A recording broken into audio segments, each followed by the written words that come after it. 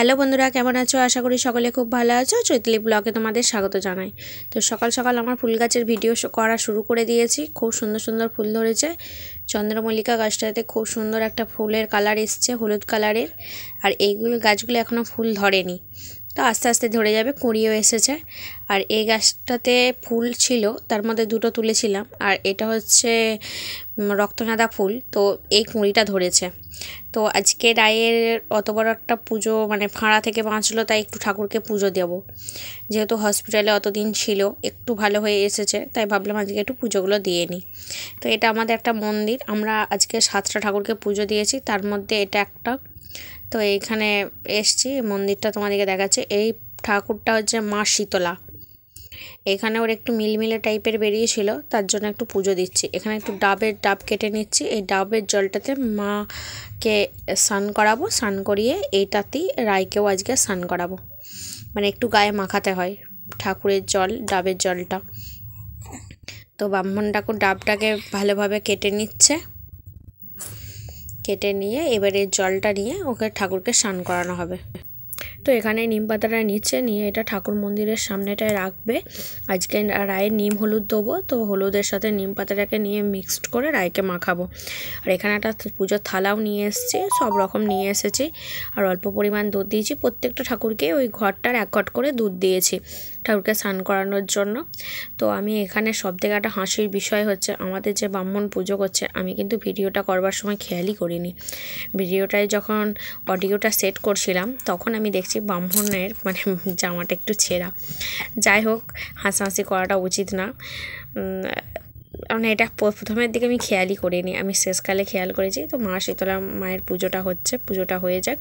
তো এখান থেকে যাব যে আরও যে সমস্ত ঠাকুরগুলোর পুজো করিয়েছি সেগুলোও তোমাদেরকে আজকে দেখাবো। অনেক মানে সাতটা ঠাকুরের পুজো করিয়েছি হিসাব মতো ছটা হচ্ছিল। আমি বললাম না ছটা তো দেওয়া যাবে না তো আর একটা ঠাকুরকে দিয়ে দিই দিয়ে সাতটা ঠাকুর করে ফেলি। তো সাতটা ঠাকুরের পুজো দিয়েছি। এখানে মা শীতলা আছে এই পাশে মা চণ্ডী আছে আর এই পাশে মা মনসা আছে। এটার আমাদের পুজো হয়। তোমার ফাল্গুন মাসের শেষের দিক করে আমাদের এটাতে প্রচুর ধুমধাম করে পুজো হয় মা শীতলার। তো মা শীতলার একদিন পিঠেরও আরান থাকে, একদিন বাইরে রান্না করা মানে খামারে রান্না করা, যেটাকে আমরা মাঠে রান্না বলি, সেটারও একটা আরান থাকে। পরপর তোমাদেরকে দেবো ভিডিও দিতে থাকব। যে এরকম মা শীতলার এই নিয়মগুলো আমাদের পালন হয়। এ দেখো পুরো ঠাকুর ঘরটা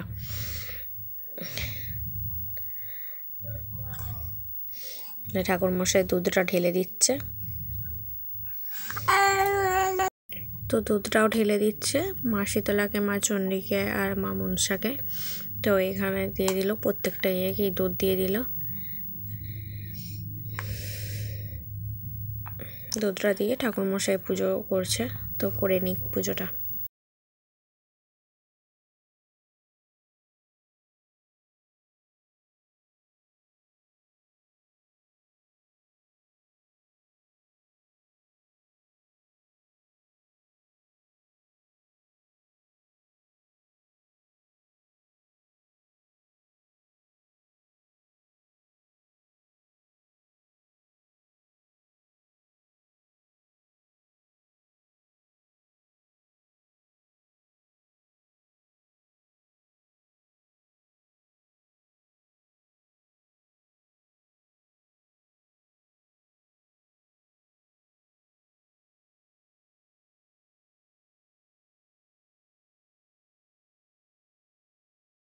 তো ডাবের জলটাও ঠাকুরমশাই ঢালছে, ঢেলে ঠাকুরমশাই দিয়ে দিল।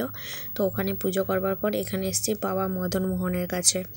তো এইখানে রায়কে নিয়ে, কোলের মধ্যে রায়কে নিয়ে বসে আছে। নিয়ে এখানে ঠাকুরমশাই বাবা মদন মোহনকে ওখান থেকে পারছে পেরে একটু স্নান করাবে, স্নান করিয়ে পুজোটা স্টার্ট করবে। এখনও পুজো স্টার্ট করেনি। বাসি ফুলগুলো ফেলে দিচ্ছে। ওর বাবা মদন মোহনকে পাত্রর মধ্যে রেখেছে, রেখে ওকে জল দিয়ে স্নান করিয়ে পুজোটা স্টার্ট করবে। তো এখানে একটা ঠাকুরকে পুজো দিয়েছিলাম, মা শীতলাকে, এরপর বাবা মদন মোহনকে দিলাম। দিয়ে এবার বাড়িতে পুজো দেবো। আমাদের এখানে যতগুলো ঠাকুর আছে, তার মধ্যে কিছু কিছু ঠাকুরকে আজকে পুজো দিয়েছি। এই দেখো স্নান করাচ্ছে। দেখতে পেয়েছ? এবার আমি যে দুধটা নিয়ে গিয়েছিলাম, এক ঘট, আমি প্রথমেই বলেছিলাম প্রত্যেকটা ঠাকুরকে অল্প পরিস্তর আমি দুধ দিয়েছি, এক ঘটি করে। তো ওই দিয়ে আজকে স্নান করিয়ে দিচ্ছে ঠাকুরকে। আমি সাতটা ঠাকুরকে পুজো দিয়েছি, সাতটা ঠাকুরকে ওই ঘটের এক ঘট করে দিয়েছে। আর রায় যেহেতু একটু ভালো হয়ে বাড়ি এসেছে, তাই একটু ঠাকুর মশাই ঠাকুরগুলোকে পুজো দিয়ে দিলাম। রায়ের জন্য মানে সবাই কান্নাকাটি করেছিলাম। রায়কে সবাই পছন্দ মানে বিশাল ভালোবাসি তো। আর ও এতটা ছোট শরীর খারাপ হয়েছে, তাই সবাই বলেছিলাম যে ভালো হয়ে এলে ঠাকুরগুলোকে একটু পুজো দেবো। মন থেকেই তো সেটাই পুজো দিয়েছি। এবার ঠাকুর মশাই পুজোটা করে নিচ্ছে। রায়কে সব জায়গায় নিয়ে যে একটু করে বসিয়ে রাখছিলাম যে একটু বস। রায়ের একটু শরীরটা খারাপ, তবুও দেখছি বসে আছে, খেলছে। ঠাকুরমশাই পুজো করছে। ওর বেশ ভালোই লাগছে। তো চলো তোমাদেরকে মন্দিরটা একটু দেখাই। এই দেখো, অনেক দিনের মন্দির, রং ফংগুলো উঠে গেছে। এটা ওপরটা, এটা পাশেরই এটা। তো এইখানে ওদের একটা রাস ঠাকুর আছে মানে যাদের মন্দির তাদের রাস ঠাকুর আছে। এটা হচ্ছে নৈবেদ্য দিয়েছে ঠাকুরকে সাজিয়ে। আর এই পাশে আমাদের পুজোর থালিটা সাজানো আছে। আর এইটা হচ্ছে আমাদের ঘরের শিব ঠাকুর। ওখানে রায়কে একটু শুইয়ে দিয়েছি বলে রায় কাঁদছে আমাদের ভোলে বাবা। আমাদের ভোলে বাবার পুজো হচ্ছিল, তো রায়কে বললাম, বসতেও বসছে না, পড়ে যেতে পারে বলে আমি ওকে শুইয়ে দিলাম। দেখো, আমাদের ভোলে বাবাকেও দুধ দিয়েছি, তো ভোলে বাবাকে দুধটা ঢেলে দিয়েছে, দিয়ে এবার সিঁদুরটা দিচ্ছে, ভোলে বাবাকেও পুজো দিয়েছিলাম। সবাই মিলে ভোলে বাবার কাছেই বলেছিলাম যে যেন একটু ভালো করে দেয় আমরা যে, যেহেতু নিজস্ব মানে নিজেদের ঘরে ভোলে বাবা আছে। তো পুজোটা হয়ে যাক ঠাকুরমশাইয়ের। আরও যে সমস্ত জায়গায় মানে দু জায়গায় যে পুজো দিয়েছিলাম, সেগুলো তোমাদেরকে ভিডিও করতে পারিনি। মানে বাউন ঠাকুর তো একসাথে চলে এসছে অনেক জায়গায়। মানে এখানে পুজোটা যেগুলো ঠাকুরের পুজো করেছি, সেগুলো আলাদা বাউন ঠাকুর আর ওই দিকে আলাদা বাউন ঠাকুর। এটা হচ্ছে আমাদের মহাপ্রভুতলা। এখানে বড় একটা নিম গাছ ছিল। যেহেতু নিম গাছ মরে গেছে, মরা গাছ রাখতে নেই, তাই নিম গাছটা কেটে দিয়েছে। অনেক দিনের পুরনো নিম গাছ ছিল। তো এইখানে ঠাকুর মশাই পুজো করছে। তো মহাপ্রভুতলাতেও আমি ইয়ে দিয়েছিলাম, দুধ দিয়েছিলাম, সেটা ঢেলে দিয়েছে। তো ঢেলে দেওয়া হয়ে গেছে মহাপ্রভুতলায়। এখানটা পুজো করি, এবার আমাদের ঘরে তুলসী তলাতে পুজো করাবো। আর যেই দুটো ঠাকুরকে করতে পারিনি, সেটা হচ্ছে আমাদের মা রক্ষাকালী আর বাবা শান্তিনাথ।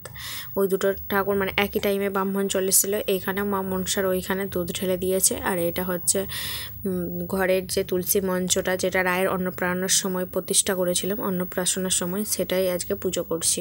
আর ওইদিকে আমার মা রায়কে কোলে করে নিয়ে বসে আছে। তো আমাদের পুজো টুজো করবার পর আমাদের দুপুরে খাওয়া দাওয়ার পর একবারে রাতের মধ্যে শুয়ে আছি। এখন রাত দুটো বাজছে, তো রায়ের প্রচণ্ড পরিমাণ জ্বরটা আবার বেড়েছে পুজো দেওয়ার পরেও। তো রায়ের বাবা ওখানে শুয়ে শুয়ে ফোন ঘাঁটছে, আমি এদিকে ফোন ঘাঁটছি আর রায় ঘুমোচ্ছে। রায়ের প্রচুর পরিমাণ জ্বর এসছে, তো সেই কারণে আমরা দুজনে ঘুমোচ্ছি না। ওইদিকে একটা ল্যাম্প জ্বলছে, এদিকে একটা ল্যাম্প জ্বলছে আর গোটা মশারিটার ওপরে বা বাইরে দিয়ে এভাবে ঘেরা দেওয়া হয়েছে, যাতে ঠান্ডাটা একটু না ঢোকে। আর এখানে ব্ল্যাঙ্কেটটা তো আছেই প্লাস হচ্ছে রায় যেটার উপরে শুয়ে আছে, সেটা থার্মোকলের ইয়েটা বেছানো আছে, যাতে রায়ের ঠান্ডাটা না লাগে। দেখো জামাটা খুলে রেখেছি, ব্ল্যাঙ্কেটটা চাপা দিইনি। ওর জ্বর এসছে তো প্রচুর পরিমাণ, থার্মোমিটার মাথা গোড়াতেই আছে। আজকে পুজো দিলাম, তারপরেও দেখছি ওর জ্বর এসছে। তো যাই হোক, খুব পরিমাণ জ্বরটা এসেছিল বলে আমরা সকালবেলায় ওর একটু হাঁপ টানের মতন হচ্ছিল বলে আমরা সঙ্গে সঙ্গে ডাক্তার দেখাতে আসি, ডাক্তার ভর্তি করে দিয়েছে। আর রাত থেকেই ওর আবার একটু বাড়াবাড়ি। আমাদের বিশাল পরিমাণ চিন্তা হচ্ছে যে কী যে হবে ঠাকুরকে পুজো দিলাম। তাতেও ঠিকঠাক হলো না। রায় কাঁদছে, দেখতে পেয়েছ? কোনো বাচ্চা ছেলের হাতে যদি এরকম চ্যালেঞ্জ করা থাকে, তাহলে সে তো একটু কাঁদবে, একটু কষ্ট পাবে। আবার অক্সিজেনও চলছে। মানে ডাক্তার বলে দিয়ে গেল, বাহাত্তর ঘণ্টা না গেলে কিচ্ছু বলা যাবে না। তাই এত পরিমাণ কষ্ট হচ্ছে যে আজকে এত কষ্ট করে কালকে ঠাকুরকে পুজো দিলাম। আজকে আবার রায়কে নিয়ে ভর্তি আছি। দেখো, রায়ের অক্সিজেন চলছে। যে ওইটুকুন বাচ্চা মেয়ে কতটা সহ্য করবে বলো? বুঝতে পারছি না যে কী যে করি। দেখতে পেয়েছ? এখানে অক্সিজেনটা চলছে কন্টিনিউ আর এই পাশটা দিয়ে রায় আমার কোলে শুয়ে আছে।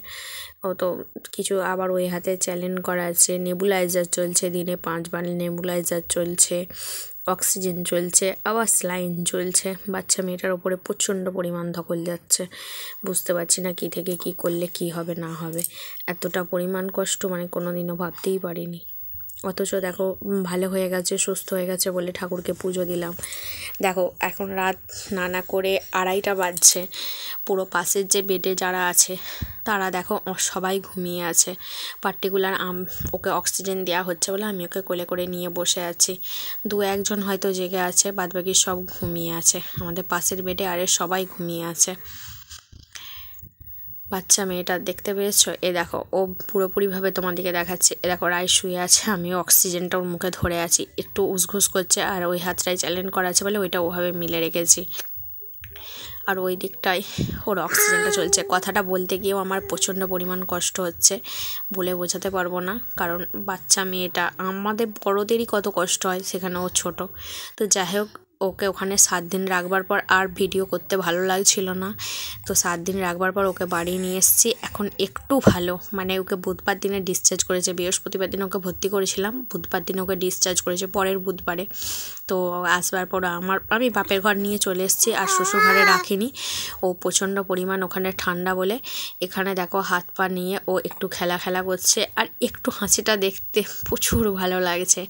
মেয়েটার মুখ থেকে হাসিটাই উড়ে গিয়েছিল।